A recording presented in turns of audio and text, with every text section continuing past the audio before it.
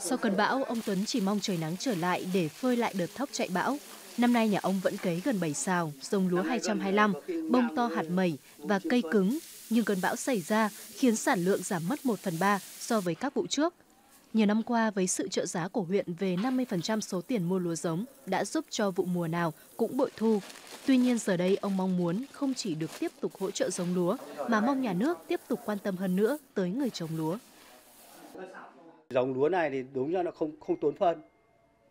Mà nếu như mà bỏ bỏ phân mà đúng kỹ thuật thì nó rất là không hay bị đổ đâu. Năm nay nhà tôi là bão quá to mới đổ. Mọi khi đây có ông trưởng thôn biết, nhà tôi ít khi đổ lúa. Bão số 3 qua Hà Nội hơn 2 tuần nhưng dụng lúa nhà chị Thắng vẫn ngập ngang bụng.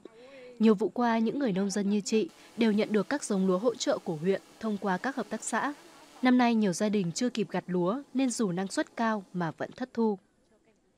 Hợp tác xã hỗ trợ thường thường là hỗ trợ 50%, còn nông dân là ủng hộ 50%. Nhưng ờ, từ cách đây bao nhiêu năm về trước thì lúa chỉ như vụ mùa này chỉ được tầm tạ rưỡi thôi. Nhưng vụ này rất tốt nhưng mà nhưng mà kiểu chưa gặt. Nhìn như là như là năng suất rất nhiều, năng suất so với những vụ trước là rất tốt. Ba Vì được mệnh danh là vựa lúa của Hà Nội, không bởi diện tích vào loại lớn nhất 5.100 hecta mà còn là địa phương có năng suất lúa cao nhất. Việc áp dụng khoa học công nghệ vào sản xuất, trong đó có giống lúa, đã tạo ra những mùa màng bội thu cho người nông dân. Năng suất lúa ở Ba Vì đạt khoảng 65 tạ một hecta, thậm chí có những vụ có khu vực lên tới gần 70 tạ một hecta. Vụ mùa này, huyện đã tiếp tục chọn các giống cao sản và tiếp tục trong chương trình hỗ trợ giống, nên nhiều khu vực thu hoạch trước cơn bão thì không bị ảnh hưởng. Mỗi một loại giống đó thời gian sinh trưởng khác nhau, rồi chăm sóc khác nhau. Thì riêng bây giờ huyện đưa vào cơ cấu giống, nó dụ như TB ở hai năm chẳng hạn, thì nó có thể là chín một đông loạt mà thu hoạch. Nhất là cái cơ giới hóa này có thể vài ngày chúng ta đã xong là chuyển sang cây đợi cây trồng của một vụ tiếp theo rất phù hợp.